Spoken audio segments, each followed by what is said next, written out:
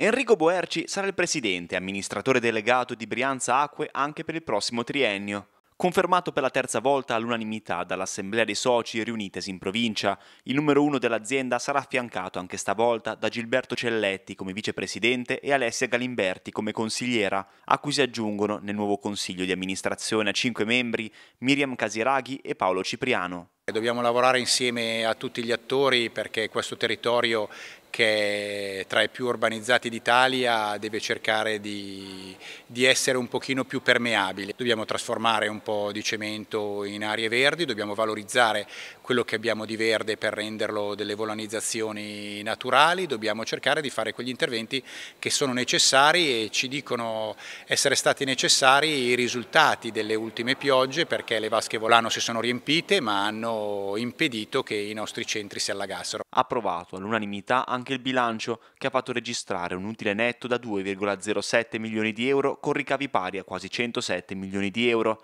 investimenti record da 65,3 milioni con crescita anche del margine operativo lordo a 31,8 milioni di euro. Un bilancio che si chiude ancora con, con un utile, con un EBITDA che, che sale rispetto all'anno passato e con